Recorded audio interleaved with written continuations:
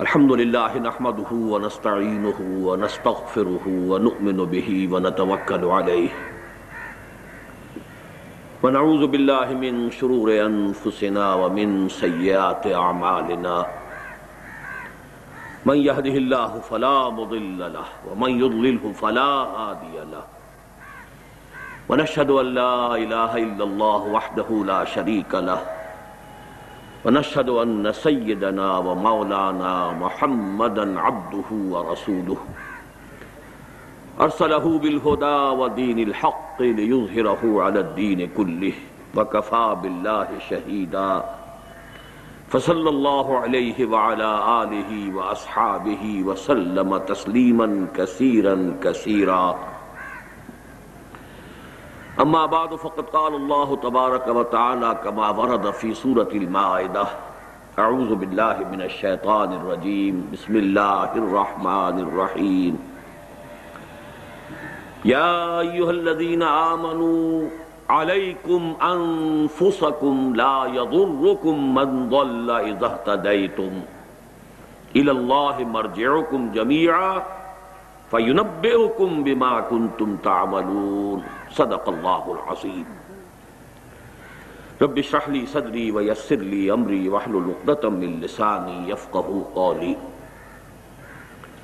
اللهم ربنا الهمنا رشدنا واعذنا من شرور انفسنا. اللهم ارنا الحق حقا وارزقنا اتباعه وارنا الباطل باطلا وارزقنا اجتنابه. اللهم وفقنا لما تحب وترضى وتقبل منا فإنك خير المتقبلين آمین یا رب العالمین۔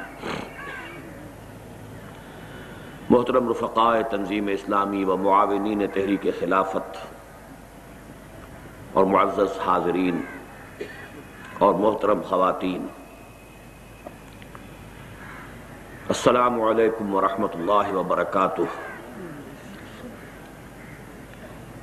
اللہ کا لاکھ لاکھ شکر ہے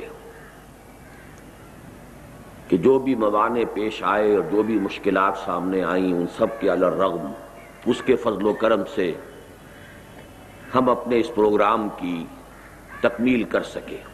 ہر شے من جانب اللہ ہے اور کوئی شے اللہ تعالی کی طرف سے آنے والی خیر سے خالی نہیں ہوتی۔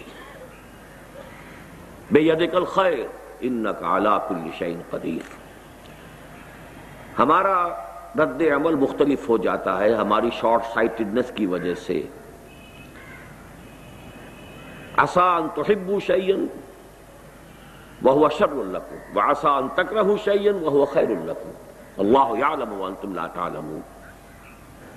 اب آج میں نے اگرچہ صرف ایک آیت اس وقت تلاوت کی ہے، لیکن میرے پیش نظر دو دو آیات کے چار مجموعے ہیں جو آپ کے سامنے ہدیتن پیش کرنے ہیں۔ اور وہ اس لیے کہ حضور کا یہ فرمان سب کے علم میں ہے، ان خیر الحدیث کتاب اللہ، ان احسن الحدیث کتاب اللہ۔ تو کوئی ہدیہ اس سے بہتر ہو نہیں سکتا۔ پہلی آیت جو میں نے پڑھی ہے وہ سورہ معدہ کی ایک سو پانچویں آیت ہے۔ اور بڑی ضرورت میں محسوس کرتا ہوں کہ ہم میں سے ہر شخص کو اس آیت کے مفہوم اور معنی کو اچھی طرح حرز جان بنا لینا چاہیے۔ یا ایوہ الذین آمنوا علیکم انفسکم، لا یضرکم من ضل اذا اهتدیتم۔ الی اللہ مرجعکم جميعا فینبئکم بما کنتم تعملون۔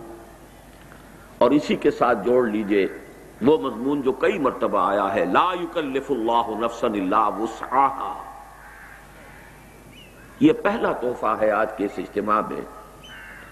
لیکن ان کی اہمیت کیا ہے، اس پر سب غور کیجیے۔ پہلی آیت کے بارے میں روایت ملتی ہے کہ حضرت ابو بکر صدیق رضی اللہ تعالی انہوں نے ایک مرتبہ خطبہ ارشاد فرمایا۔ کہ مسلمانوں میں دیکھ رہا ہوں کہ تم اس آیت کا بالکل غلط مفہوم لے رہے ہو۔ اس سے گویا کہ ایک طرف یہ خیال ہوتا ہے یا شیطان کو وسوسہ اندازی کا موقع ملتا ہے کہ بس میں اپنی نجات کی فکر کروں، اپنی عبادت، اپنے فرائض۔ باقی یہ کہ زمانہ جدھر جا رہا ہے، مجھے اس سے کوئی غرض نہیں، میری کوئی ذمہ داری نہیں۔ تو آپ نے فرمایا یہ بہت غلط مفہوم ہے جو تم لے رہے اب میں سوچا کرتا ہوں کہ ابھی تو حضور کے وصال کو چند دن گزرے ہوں گے یا چند مہینے گزرے ہوں گے، اور اس وقت حضرت ابو بکر کو ضرورت پیش آ گئی کہ یہ وضاحت فرمائے۔ تو یقیناً کوئی بہت بڑی بات ہے، کوئی بہت اہم بات ہے، اور شیطان کی طرف سے وسوسہ اندازی کا کوئی بہت بڑا رکھنا ہے کہ جس کا صد باب کیا ہے حضرت ابو بکر صدیق نے رضی اللہ تعالی عنہ۔ اس آیت کا اصل مفہوم کیا ہے؟ انسان پر اصل ذمہ داری صرف اپنی ذات کی ہے۔ کسی دوسرے انسان کو ہدایت پر لے آنے کا اسے اختیار نہیں ہے۔ کسی انسان کو ہدایت پر لے آنا ان کا اختیار نہیں کجا یہ کہ انقلاب برپا کر دینا، دین قائم کر دینا۔ ان نقلا تحدیمن احبت ولا کن اللہ یہ شاہ نبی سے کہہ دیا گیا صلی اللہ علیہ وسلم، آپ ہدایت نہیں دے سکتے جسے چاہیں، تو اللہ ہدایت دیتا ہے جس کو چاہتا ہے۔ تو اپنی ذمہ داری جو ہے، وہ اپنی اصل ذمہ داری سے بڑھ کر نہ محسوس کریں یہ کیوں نہیں ہو رہا؟ وہ کیوں نہیں مان رہا؟ لوگ کیوں نہیں سن رہے؟ اثر کیوں نہیں ہو رہا؟ نتیجہ کیوں نہیں نکل رہا؟ یہ تمام وسوسے در حقیقت اس آیت پر صحیح غور و فکر نہ کرنے کی وجہ سے پیدا ہوتے ہیں۔ البتہ جو مغالطہ ہے وہ کیا ہے؟ کہ آدمی اپنی اجتماعی ذمہ داریوں سے اپنے آپ کو بری کر لے۔ دعوت دینا آپ کا فرض ہے تل من دھن لگا دینا آپ کا فرض ہے اپنے جملہ وسائل کو بروئے کار لانا آپ کا فرض ہے، اس میں کوئی کمی اور کوتاہی ہو گئی تو یہ شیطان کا حملہ ہے جو اس آیت کے حوالے سے وہ کر رہا ہے اور کس دور میں کر رہا ہے؟ دور صدیقی میں کر رہا ہے۔ یہ ہے دونوں پہلو کے جس کو ہمیں متوازن طریقے پر، میں نے بارہا اپنے دروس میں یہ لفظ استعمال کیے ہیں کہ ہمارے ہاں جو ایک محاورتن لفظ استعمال ہوتا ہے کہ پل سرات جو ہے وہ بال سے زیادہ باریک اور تلوار کی دھار سے زیادہ تیز راستہ ہے، تو اس دنیا میں بھی ہر ہر جگہ پر آپ کو سرات مستقیم اسی طریقے سے باریک نظر آئے ادھر بھی گڑھا ہے، ادھر بھی کھائی ہے۔ ذرا ادھر کو ہو گئے گئے، ذرا ادھر کو گئے تو گئے۔ بڑے توازن کی ضرورت ہے۔ لیکن اس کے ساتھ ہی ذرا ایک آیت اور نوٹ کیجیے۔ جو میں نے اس سے پہلے بھی آپ سے عرض کی تھی۔ کسی درجے میں بھی یہ خیال نہ ہو کہ میں کوئی اللہ پر احسان کر رہا ہوں۔ ومن جاہدہ فَإِنَّمَا يُجَاهِدُ لِنَفْسِ اللہ بہت غنی ہے، غنی العالمین۔ ہر احتیاج سے بری۔ آنے واحد میں دین کو قائم کر دے، آنے واحد میں ہر انسان کو ابو بکر صدیق بنا دے۔ اللہ کی قدرت سے بعید نہیں۔ تو اچھی طرح سمجھ لیجیے، خود غرضی میرے نزدیک بہت اہم ہے۔ بئی معنی کہ آپ یہ سمجھئے میں اپنے لیے کر رہا ہوں؟ کسی کے لیے نہیں۔ علیکم انفسکم، تم پر ذمہ داری ہے تمہاری اپنی۔ اپنے لیے کرنا ہے۔ اپنی نجات کے لیے، اپنی فلاح کے لیے، اپنی اخروی کامیابی کے لیے، اللہ کی رضا کے حصول کے لیے۔ جو کرنا ہے اپنے لیے کرنا ہے۔ فرق صرف یہ ہے کہ خود غرضی کا ایک رخ دنیا کی طرف جاتا ہے خود غرضی کا ایک رخ آخرت کی طرف جا رہا ہے۔ خود غرضی کا ایک رخ مال اور دولت کی طرف اور اقتدار دنیاوی کی طرف جا رہا ہے اور خود غرضی کا ایک رخ اللہ کی طرف جا رہا ہے۔ اللہ مجھ سے راضی ہو جائے، باقی سب ناراض ہو جائے۔ کوئی پرواہ علیکم انفسکم لا یضرکم من دلہ۔ عزت مجھے آج شیر یاد آ رہا تھا اقبال کا۔ اگر کجرو ہے انجم آسمان تیرا ہے یا میرا؟ مجھے فکرے جہاں کیوں ہو، جہاں تیرا ہے یا میرا؟ اپنا فرض ادا کرنے کے بعد آپ یہ انداز اختیار کریں تو کوئی بری بات نہیں۔ لیکن اپنے فرض سے کسی بھی حوالے سے اگر بے پرواہی ہو گئی تو ہلاکت ہے، بربادی ہے، تباہی ہے۔ اسی طریقے سے لیس للانسان الا ما سعى وان سعيه سوف يرى۔ لا يكلف الله نفسا الا وسعها۔ یہاں بھی شیطان آ کر دھوکہ دیتا ہے۔ میری وسعت تو بڑی کم ہے۔ یہ نہیں دیکھنے دیتا کہ میری وسعت میری صلاحیت، میرے اندر جو اللہ نے قوتیں رکھی ہیں، ان کا کس کس شکل میں ظہور ہو رہا ہے۔ Masterpiece of divine creation ہر انسان اللہ کی تخلیق کا نقطۂ عروج ہے۔ کیا کیا کچھ اس میں اللہ نے رکھا ہوا ہے؟ اس کا واقعہ یہ کہ اندازہ نہیں ہے، من عرف نفسہ فقط عرف ربہ۔ ہم اسے ایکسپلائٹ نہیں کرتے، غیر شعوری طور پر استعمال کرتے دنیا کے لیے۔ اور دھوکہ اپنے آپ کو دیتے ہیں کہ میرے اندر تو استعداد نہیں ہے، میرے اندر تو صلاحیت نہیں ہے۔ واقعہ جیسا کہ میں نے آج صبح بھی عرض کیا تھا، اگر اللہ نے سو درجے کی صلاحیت رکھتی ہے اور آپ نے اسی درجے استعمال کیے، آپ مجرم ہو جائیں۔ اپنے آپ کو کبھی اس کے حوالے سے دھوکہ نہ دیجیے میکسیمم کرنے کی کوشش کیجیے، آپ اپنے اس حد سے آگے نہیں بڑھ سکیں گے۔ کل کو میسر لما خلق۔ وہ اپنی جگہ ہے، لیکن اپنی سعی میں، اپنی کوشش میں، اپنی انڈیور میں، اپنی جد و جہد میں، اپنے انفاق مال میں، اپنے بزل نفس میں اگر اس حوالے سے کوئی کمی ہو گئی تو یہ بھی اس آیت کا غلط مفہوم ہوگا۔ اور گویا کہ قرآن مجید جو خود کہتا ہے اپنے بارے میں یدل بھی یدل من یشا اللہ جس کو چاہتا ہے اس قرآن کے ذریعے سے گمراہ بھی کر دیتا ہے۔ یدل بہی کثیرم یہدی بہی کثیرہ وما یدل بہی الفاسقین۔ اپنی نیت کے حوالے سے تو پہلا تحفہ، یا الذین آمنوا علیکم انفسکم۔ پوری خود غرضی۔ میری فلاح۔ دو جگہ قرآن مجید میں فرمایا گیا ہے کہ قیامت کے دن تم چاہو گے ہمارے باپوں کو بھی جھونکو جہنم میں، اور ماؤں کو بھی جھونکو، اور بیویوں کو بھی، اور اولاد کو بھی، کسی طرح مجھے بچاؤ۔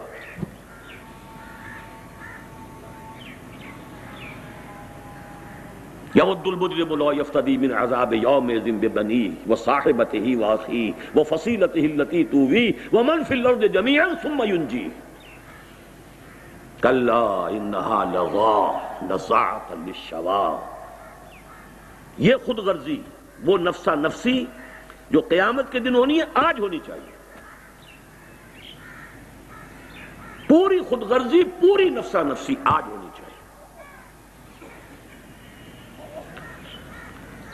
اب اسی کے حوالے سے دو آیات کا جوڑا اور ہے۔ یا ایوہ الذین آمنوا قو انفسکم واہلیکم نارا۔ وقودها الناس والحجارہ۔ علیہا ملائکت غلاظ شداد لا یعصون اللہ ما امرہم ویفعلون ما یومرون۔ یہ تو ہمارے منتخب نصاب کی آیت ہے، آپ میں سے اکثر کو ازبر ہوگی۔ لیکن اس کا جوڑا کیا ہے وہ بھی نوٹ کر لیجیے۔ یا ایوہ الذین آمنوا لا تتخذوا آباکم و اخوانکم اولیاء ان استحبوا الكفر علی الایمان۔ ومن یتولہم منکم فاولائک هم الظالمون۔ دیکھیے انسان کے دنیاوی رشتے جو ہیں، اہل اہل میں اہل بیت سب سے پہلے۔ اولاد، باپ، بھائی، قریب قریب رشتے یہی ہے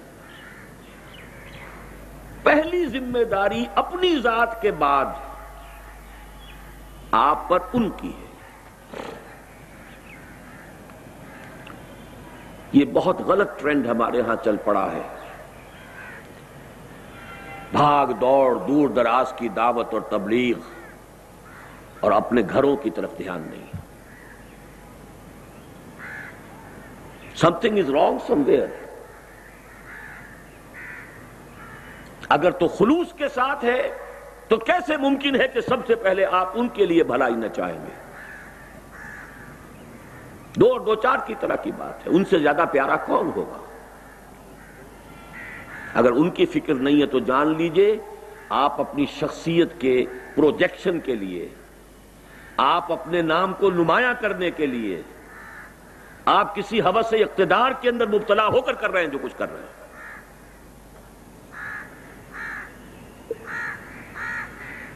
ورنہ سب سے پہلا معاملہ گھر، اہل و عیال، باپ اور بھائی۔ انفسکم واہلیکم نارا۔ یہ تو ہوا مثبت انداز۔ بچاؤ۔ اور منفی انداز اس کو بھی نوٹ کر لیجیے۔ وہ معاملہ تو بہت ہی غلط ہے کہ آپ کو تاہی کر رہے ہو، غفلت کر رہے ہو، ان کو، ان کی آخرت کی فلاح کی فکر نہ کرے وہ تو دلو دلالم بعیدہ ہو گیا۔ وہ تو میں نے کہا پیتھولوجی ہے، کوئی نہ کوئی خرابی ہے، کوئی نہ کوئی ٹیڑھ ہے، کوئی نہ کوئی کجی ہے۔ لیکن اس کا دوسرا رخ بھی ہے۔ اگر آپ کی تمام تر کوشش کے باوجود وہ سیدھے راستے پر نہیں آ رہے۔ تو ان سے کٹ جانا فرض ہے۔ اپنے باپوں اور بھائیوں کو بھی اپنا ولی نہ بناؤ۔ اگر یہ صورت پیدا نہیں ہو رہی، پھر کوئی خرابی ہے۔ کٹ جانے کا مطلب یہ نہیں کہ لٹ مار کے علیحدہ ہو جائے۔ کٹ جانے کا مطلب یہ نہیں کہ گالم گلوچ پر اتر آئے۔ نہیں۔ معلوم انہیں ہو جائے کہ یہ اس کے دل میں ہماری محبت نہیں ہے۔ پولرائزیشن اگر نہیں ہو رہی ہے، تو کوئی نہ کوئی خرابی ہے۔ منطقی نتیجہ ہے۔ ان کے غلط طور اتوار بھی ہوں، ان کے غلط چال چلن بھی ہوں، ان کی زندگی کے غلط رخ بھی ہوں۔ اور آپ کی محبتیں بھی جو کہ تو قائم ہوں، اور آپ کی شفقتیں بھی جو کہ تو قائم ہوں۔ تو یا تو آپ میں اللہ کے لیے حمیت اور غیرت نہیں ہے، یا ان کی محبت آپ کے دلوں میں اللہ کی محبت سے زیادہ ہو گئی ہے، تیسری کوئی شکل موجود نہیں۔ غیرت کا تقاضا ہے۔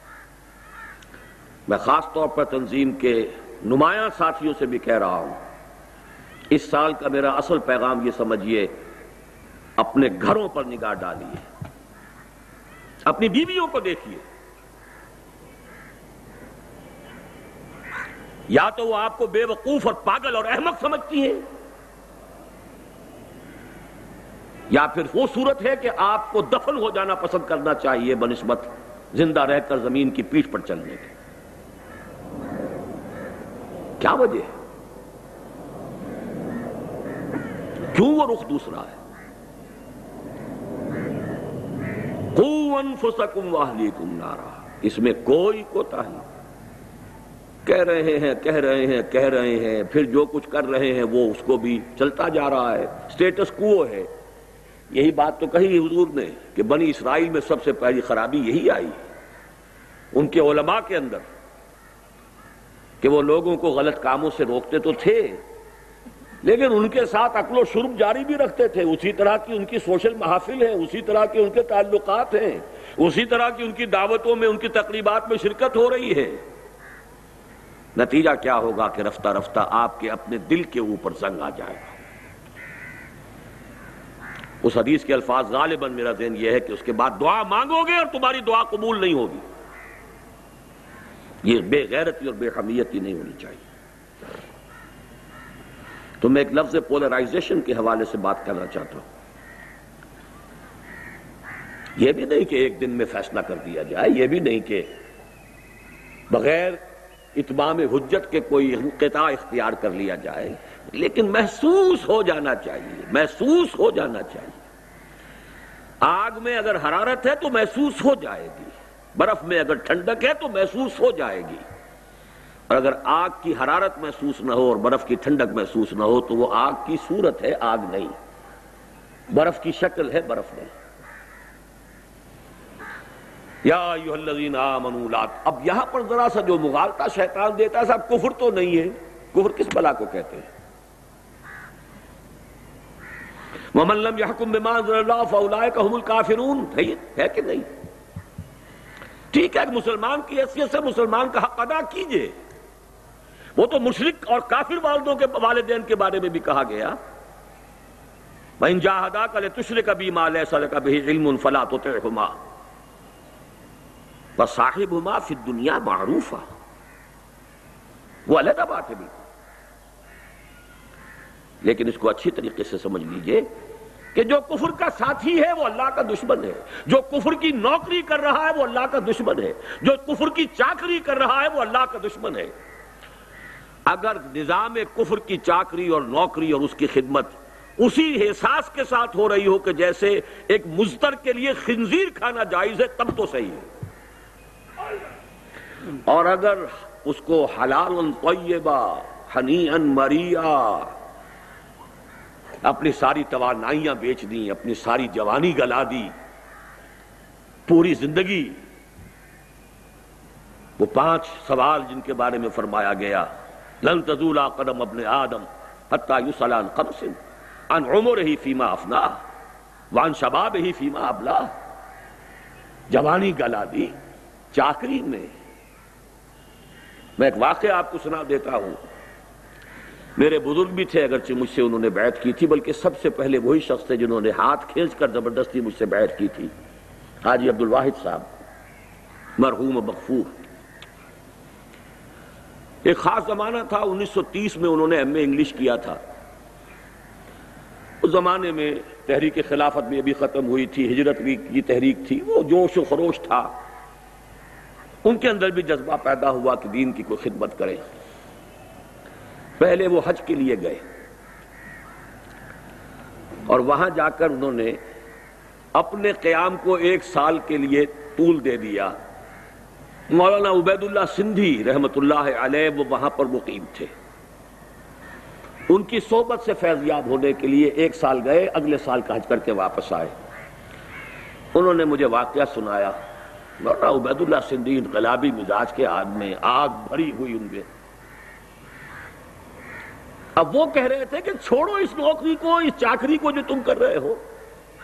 کوئٹے کا ایک بہت اعلیٰ درجے کا ہائی اسکول تھا جس کے کہ وہ سب ہیڈ ماسٹر تھے۔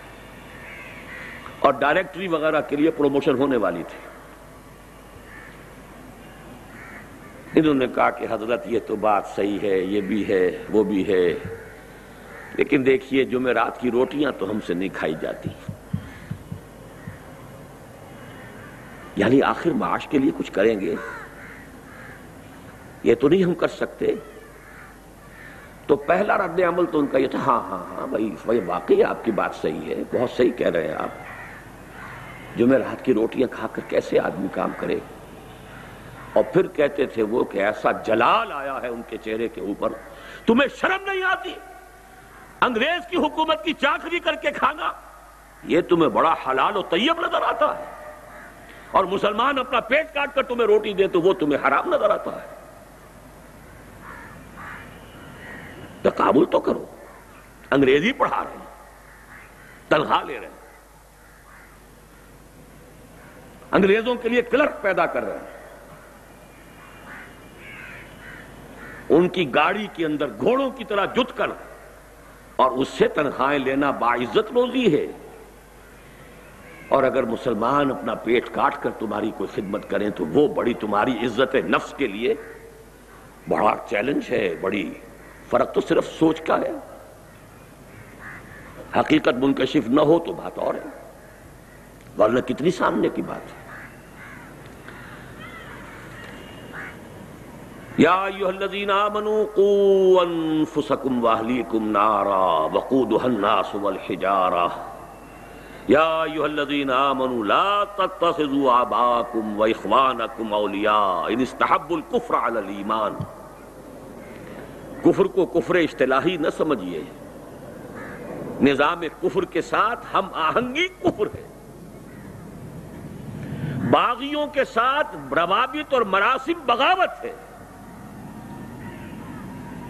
یہ سب اللہ کے خلاف بغاوت ہے دنیا میں۔ آپ اس کی چاکری کر رہے ہیں، اس کی نوکری کر رہے ہیں۔ آسائشوں کے لیے، آرام کے لیے، عیش کے لیے۔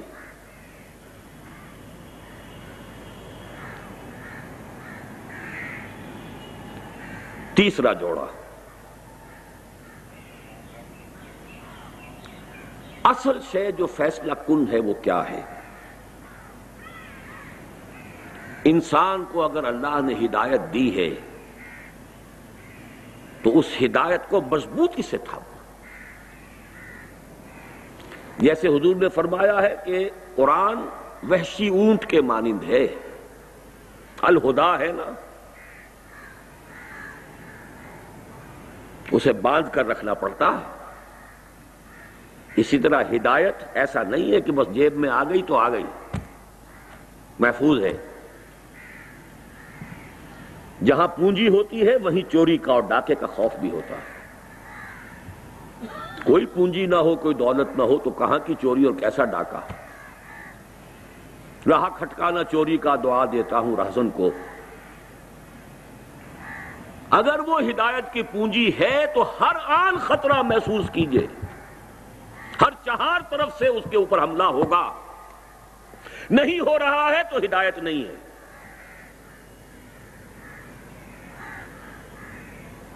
آپ کے والدین آپ پر حملہ کریں گے۔ آپ بڑے میٹھے میٹھے الفاظ میں کریں۔ آپ کے گھر والے ان نمام والکم اولادکم فتنہ۔ یا ایو الذین آمنوا ان من ازواجکم واولادکم عدو لکم فاحذروا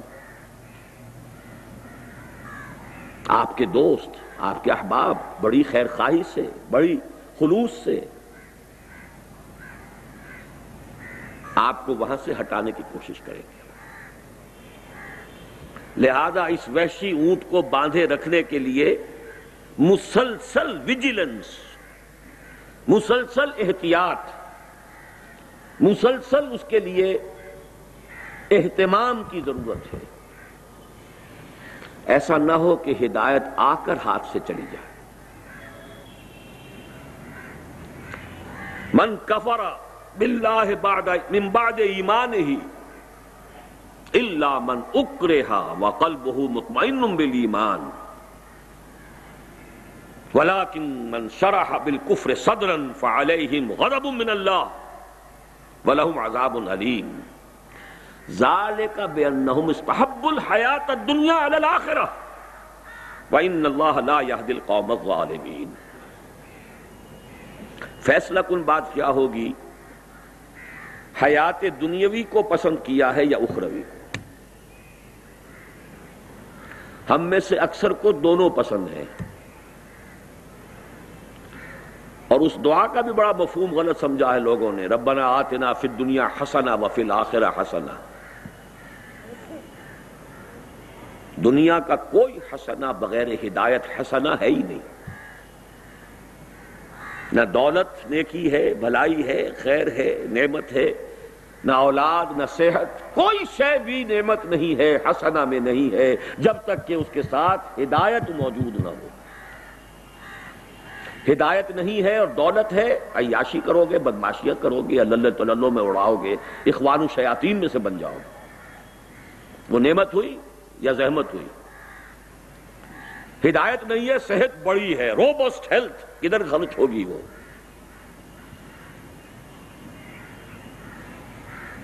کوئی شے نعمت نہیں۔ ربنا آتنا فی الدنیا حسنا۔ ہاں اللہ، ہدایت کے ساتھ جو بھی حسنات ہیں، ہمیں عطا فرما۔ لیکن بغیر ہدایت کوئی شے حسنا نہیں ہے۔ اصل فیصلہ کن بات یہ ہے کہ آخرت کے طالب ہو یا دنیا کی۔ اگر اس میں فیصلہ نہیں کیا ہوا ہے، واضح فیصلہ، شعوری فیصلہ۔ تو قدم قدم پر واپسی کا، پسپائی کا، ارتداد کا اندیشہ ہے۔ ارتداد معنوی، ارتداد کسے کہتے لوٹ جانا، پسپائی اختیار کرنا۔ ایک قانونی ارتداد ہے کہ اسلام سے کفر کی طرف چلا جائے، اور ایک یہ معنوی اور باطنی ارتداد ہے۔ کہ ہدایت سے راستے سے پیچھے ہٹنا شروع کر دے۔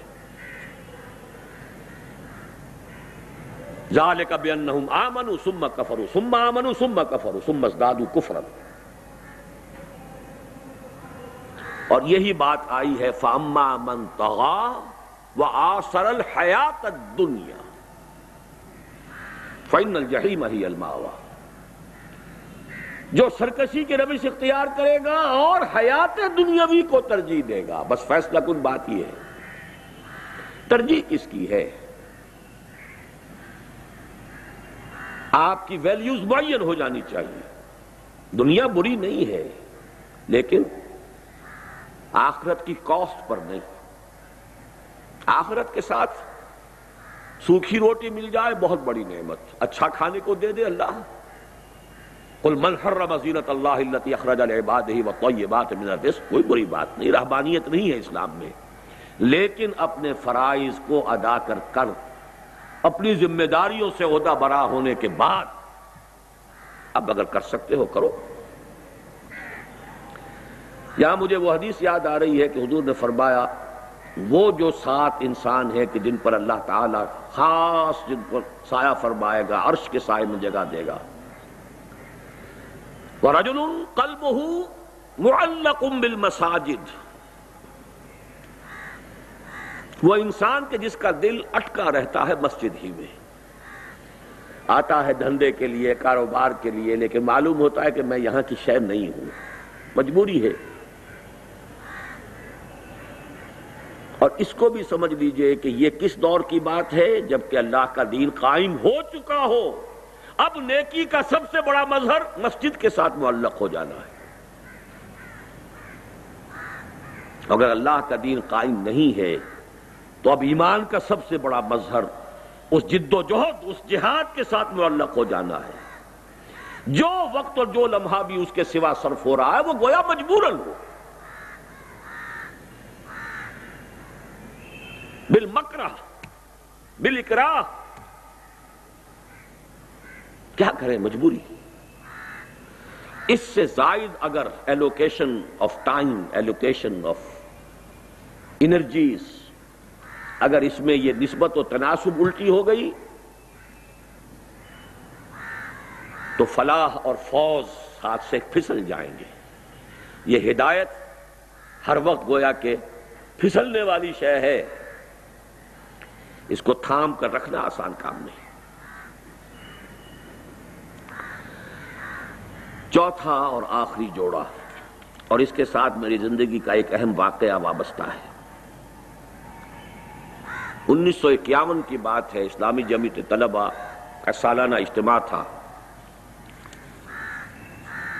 میں لاہور کا ناظم منتخب کیا گیا تھا اسی سال۔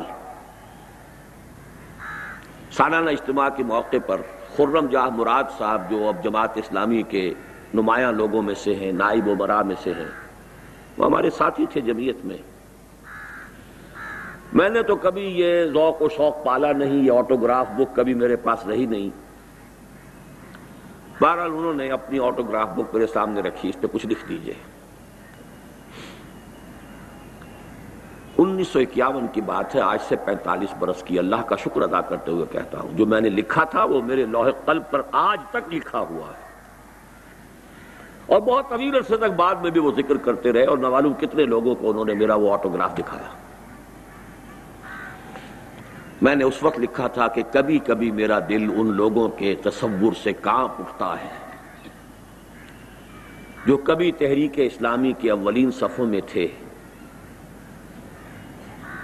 اور پھر اسی نسبت سے اس سے دور چلے گئے۔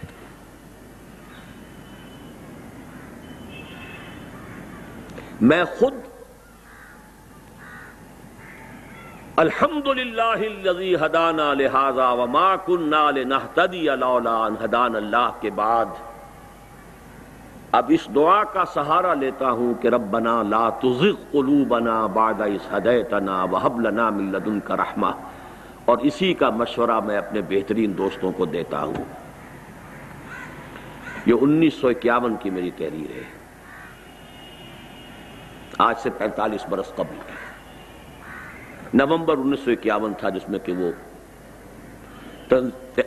جمعیت طلبہ کا جلسہ تھا۔ بس یہی میرا آج کا آخری جوڑا ہے آپ کے لیے۔ ہرگز نہ سمجھیے گا کہ یہ کوئی ہماری یافت ہے، ہم نے خود تلاش کیا ہے، ہم نے خود پایا ہے۔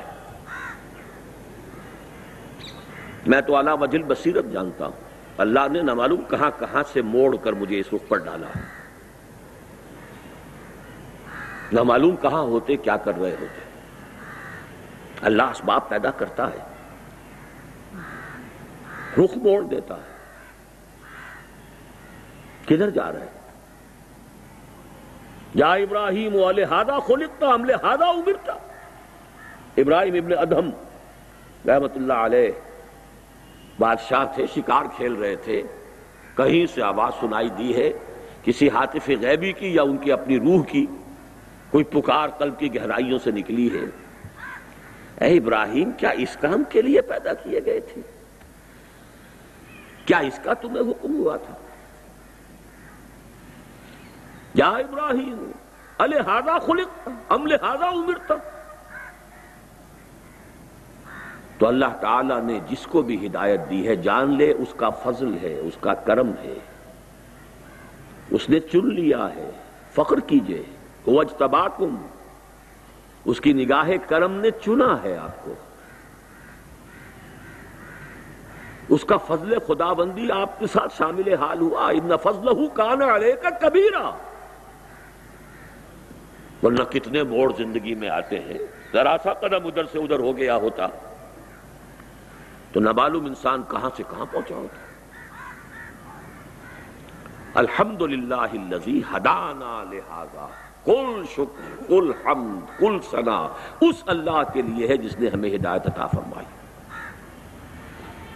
مما کل نال اللہ اللہ قرآن مجید میں یہ الفاظ آئے ہیں، اہل جنت کے ترانہ حمد کے طور پر کہ جب وہ جنت میں داخل ہوں گے تو شکر ادا کریں گے۔ کیونکہ ہدایت جو ہے، اس کے بہت سے مراحل ہیں۔ ہدایت ابتدائی بھی ہے، ہدایت تکمیلی بھی ہے۔ ہدایت راستے کا دکھا دینا بھی ہے، ہدایت راستے کا سمجھا دینا بھی ہے اور ہدایت منزل تک پہنچا دینا بھی ہے۔ اس وقت وہ ترانہ حمد ہوگا۔ اس اللہ کا شکر ہے جس نے ہمیں یہاں پہنچایا۔ ہم ہرگز نہ پہنچ پاتے اگر اللہ نہ پہنچاتا۔ کوئی عجب نہ ہو، کوئی فخر نہ ہو، کوئی اپنی کسی اللہ نے صلاحیت اگر دی ہے تو اس کے اوپر کوئی تکبر نہ ہو۔ جو کچھ ہے اللہ کی طرف سے ہے، اس کا فضل ہے، اس کا کرم ہے، اس نے پہنچایا ہے۔ اور اس کے بعد بھی ربنا لا تزغ قلوبنا بعد اس هديتنا پچھلے دنوں میں نے خطبات جمعہ کے اندر آپ کو یاد ہوگا بلام بن باورا کے موضوع پر کئی خطبے دیے تھے۔ اور پاکستان کے حالات کو پھر اسی سے مستمت کیا تھا۔ الزی آتے نہ ہو آیات ایک ایسا شخص جسے ہم نے اپنی آیات عطا کر دی تھی۔ ولا شینا لرفانا ہو بےحا ولا کن اخلد ہم چاہتے تو اسے اور طرف عطا کرتے، اور بلندی عطا کرتے، اور آگے کے مراحل کی طرف رہنمائی ہوتی، لیکن وہ بدبخت زمین کی طرف دھنستا چلا گیا۔ زمینی خواہش اور جہاں تک روایات کا تعلق ہے ایک لغزش۔ ڈرتے رہنا چاہیے، کانپتے رہنا چاہیے۔ حدیث موجود ہے کہ ایسے بھی ہوتے ہیں لوگ، نیکی سے، زہد سے، تقوی سے، عبادت گزاری سے یہاں تک پہنچ جاتے ہیں کہ ان کے اور جنت کے درمیان بس بارش بھر کا فاصلہ رہ جاتا ہے۔ اور اس کے بعد تباہی آتی ہے اور جہنم میں پہنچ جاتا ہے۔ اسی کا عکس یہ ہے کہ کسی بھی انسان سے یہ نہ سمجھیے کہ آپ برتر ہیں، بہتر ہیں۔ کیا پتا اس کا انجام کیا ہو اور آپ کا انجام کیا ہو۔ اللہ اس کو ہدایت دے، کہیں سے کہیں پہنچا دے۔ اسی حدیث کے الفاظ ہیں کہ ایک شخص اپنے کفر میں اور معاشیت میں بڑھتا رہتا ہے، بڑھتا رہتا ہے، بڑھتا رہتا ہے، یہاں تک کہ اس کے اور جہنم کے درمیان ایک بارش کا فاصلہ رہتا ہے اور پھر زندگی میں انقلاب آ جاتا ہے۔ تو اس انقلاب معکوس سے اللہ ہمیں بچائے۔ اور اس کا طریقہ یہی ہے کہ ہرگز نہ سمجھا جائے کہ کوئی ہمارا کمال ہے، کوئی ہماری صفات ہیں کوئی ہماری خوبیاں ہیں۔ جو کچھ ہے، اللہ کی دین ہے، عطا ہے، اس پر شکر ادا کیجیے، اس کو مضبوطی سے تھام کر رکھنے کی کوشش کیجیے، آخرت کو دنیا پر ترجیح دیجیے۔ اپنے بس میں جو کچھ ہے کر گزریے، لیکن اس سے زائد اپنی ذمہ داری مت سمجھیے۔ ہوتا ہے ہو، نہ ہوتا ہو، نہ۔ ہم مکلف نہیں۔ لیکن اس پر مکلف ہے کہ اپنا تن من دھن لگا دے بس اس کے بعد میں اللہ تعالیٰ کا شکر ادا کرتے ہوئے اور آپ سب لوگوں کا شکریہ ادا کرتے ہوئے۔ مجھے خوب اندازہ ہے جو مجھ پر بیتی ہے وہ میں جانتا ہوں، لیکن یہ کہ مجھے احساس ہے جو آپ لوگوں پر بیتی ہے۔ لیکن یہ کہ بہرحال اللہ اس بے آرامی کو، اس مشقت کو قبول فرمائے، میرے اور آپ کے لیے باعث رحمت فرمائے۔ ہمارے جو ساتھی بیمار ہیں، اللہ تعالیٰ انہیں شفا عطا فرمائے۔ جو ہمارے ساتھی حال ہی میں انتقال کر گئے ہوں یا پہلے انتقال کر گئے ہوں، اللہ سب کی مغفرت فرمائے۔ زندوں کی بھی مغفرت فرمائے اور فوت شدگان کی بھی مغفرت فرمائے اور مردوں کی بھی مغفرت فرمائے اور خواتین کی بھی مغفرت فرمائے اور اللہ تعالی ہمیں اس ہدایت جو اس نے ہمیں دی ہے، اس پر استقامت کامل عطا فرمائے۔ اقول قولی حاضہ وستغفر اللہ علی ولکم ولسائر المسلمین والمسلمات۔